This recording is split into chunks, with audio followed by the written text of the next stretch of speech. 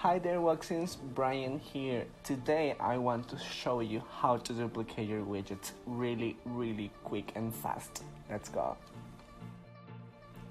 So once you're in the dashboard, go to my widgets to see the widgets you've worked on, okay?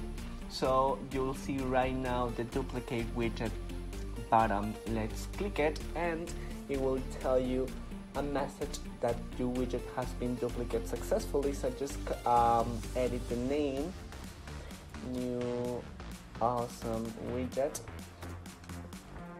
and that's it. Ready to edit it. Awesome, huh?